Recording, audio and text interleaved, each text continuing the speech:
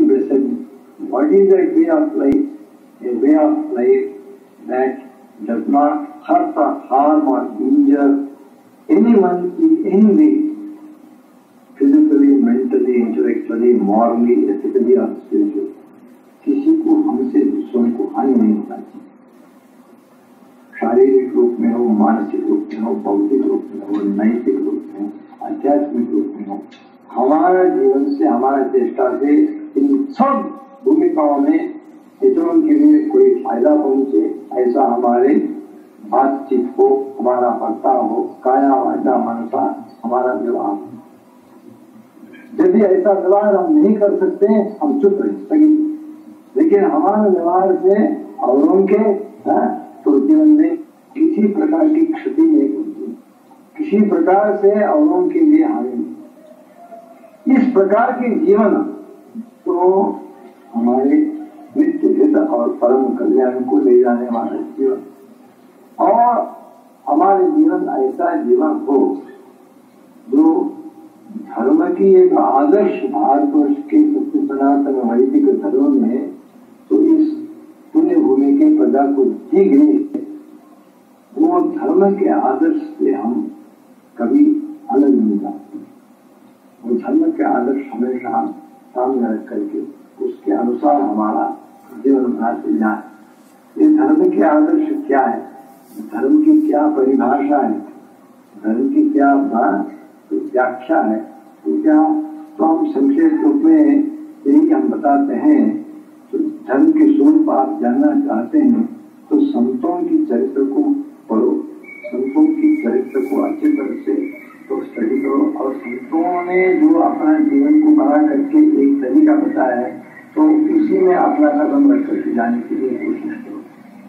तो ये बिल्कुल अचूक तरीका है तो धर्म को हाँ, जान लेने के धर्म की रहस्य तत्व को जान लेने के लिए केवल यही तरीका है अचूक तरीका है कि संतों ने किस प्रकार के अपने जीवन को बनाए थे। वो क्या किया है वो क्या करने से बिल्कुल इनकार किया है ये धर्म के रहस्य को बड़े बड़े धर्म ग्रंथों में टटोलने की ज़रूरत नहीं है, संत हमारे सामने अपना आदर्श जीवन के द्वारा रखा है, उस आदर्श को अपना करेगा संतों के जीवन में हम यही देखते हैं, क्या है तो वो किसी को धोखा नहीं देते। संत जो है, ईमानदार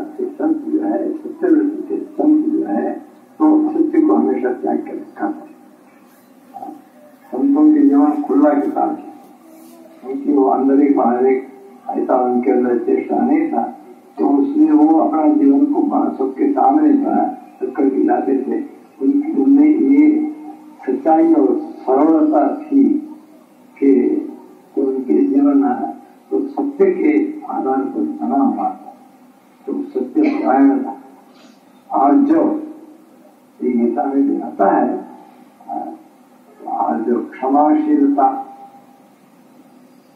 अहिंसात्मक व्यवहार। वाणी में सत्य परायणता, सत्य वृत्ति होकर के रहना और अपना जीवन को सरल और आर्जव से बना हुआ जीवन रखना। और हमारे चरित्र में पवित्रता, सदाचारी होकर के रहना। तो ये जो है तो इस प्रकार की इस प्रकार की एक रूपरेखा इस प्रकार की जीवन।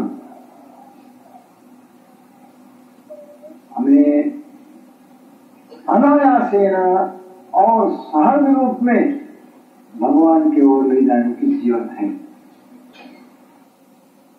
साधना, योगाभ्यास, ध्यान, प्रार्थना, जप उपासना इत्यादि के साथ साथ तो इस प्रकार की पाठ्य क्षेत्र में जीवन हमारा हो, ताकि इस जीवन हमारे आंतरिक साधना के लिए एक प्रबल सहयोगी प्रक्रिया बन जाए।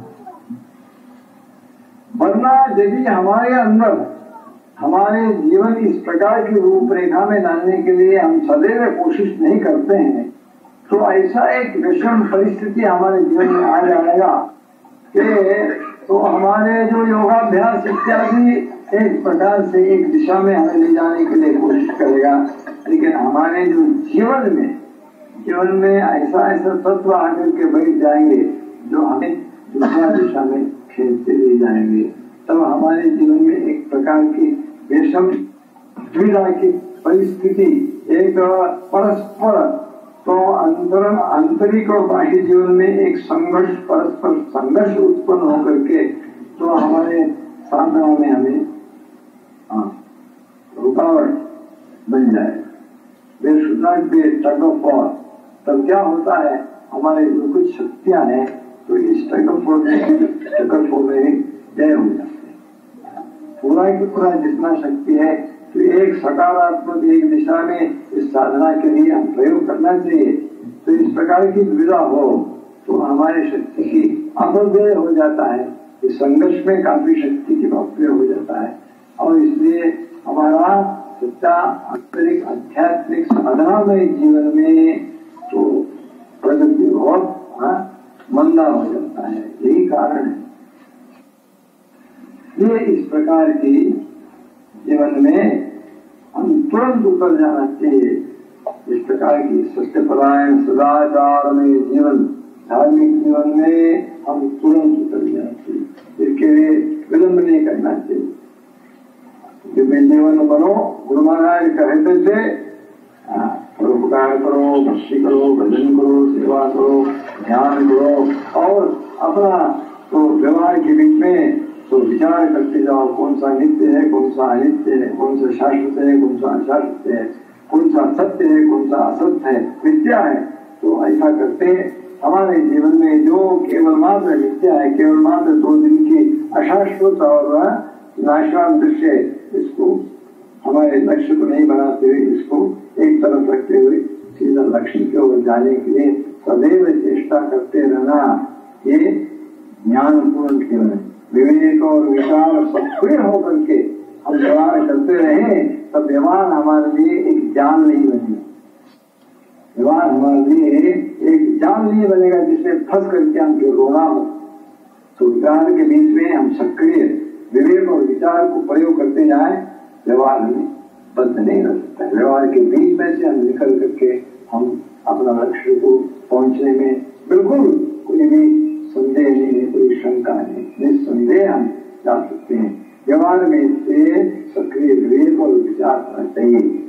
और हमारा दैनिक जीवन में तो भगवत सत्य के ऊपर अचूक रूप में ध्यान होना चाहिए। और सदैव हमारे हृदय में जैसा हम प्रेम और प्यार हमारा यहाँ की अशाश्वत व्यक्ति और वस्तुओं के ऊपर रखा है साथ साथ हृदय में भगवान के लिए भी प्रेम हम बढ़ाते बढ़ाते जाना चाहिए। ये प्रेम तो रहेगा। जब तक हम इंसान हैं तो इंसान के पास उनका प्रेम तो रहेगा क्षमता और रहे। लेकिन उसको भगवत प्रेम के साथ अवश्य जोड़ दो। प्रेम को उसके साथ जोड़ दो। ताकि natural human affection and attachments be enhanced and by a great love for God, by a great love for God, so that your human affections and attachments do not drag you down. क्योंकि यदि भगवान के लिए भक्ति और प्रेम हमारे इसमें आए हैं तब हमारे जो ह्यूमन अटैचमेंट इसको प्यूरिफाई करेगा। उसमें कोई प्रकार की गलत फैक्टर नहीं आने देगा। तो उसको हमेशा बहुत पवित्र स्तर में रखने की शक्ति भगवत प्रेम और भक्ति में है। तो हम कर सके और इस सब प्रकार के साधना के लिए, चेष्टा के लिए शक्ति हमें चाहिए और शक्ति ध्यान के द्वारा और भगवत नाम और नाम के स्मरण के द्वारा अनंत शक्ति को हम ग्रहण करके तो हमें इस तो दिव्य तरीके से जीवन बनाने में हम सफल हो। तो ये हमारा चेष्टा, हमारा के तो इस मार्ग को बता करके गुरु महाराज ने ये कहा कि मार्ग को हमें बताया है तो तुरंत इसमें लग जाओ। बोलते थे D-I-N, D-I-N, D-I-N, D-I-N, D-I-N, D-I-N, detach, टैच detach है टैच अपना ममता को प्रेम को ये नाशवान एक टेम्पररी एक दृश्य के अंदर से इसको निकाल करके हटा करके जो अविनाशी है नित्य है शास्त्र उनमें लगाओ। और इस कार्य करने में विलंब मत करो। दीन माने डू नाउ शुभ शिष्य के बोला जो अच्छा कार्य है उसको अभी करो आज करो तुरंत करो और करने में लग जाओ। और ऐसा जीवन जो भक्ति युक्त है हाँ, ध्यान पूर्ण है विवेक और विचार के साथ वाला जीवन है और परोपकार से भरा हुआ जीवन है, पवित्र परोपकार से पवित्र जीवन है, इसमें आज ही लग जाओ। भगवान श्री गणेश जो विघ्न विनायक है और विष्णु नाशक है सिद्धिदायक है, उनके अनुसरण से इस प्रकार की दिव्य जीवन बनाने की आपकी चिंता में आपको परिपूर्ण सफलता शीघ्र प्राप्त हो। ऐसा ही गुरु महाराज के चरण के सेवक आपके वास्ते प्रार्थना करता है। इस प्रकार के जीवन द्वारा आप आपके जीवन के परम लक्ष्य को शीघ्र शीघ्र को प्राप्त करके आप सफल बनो।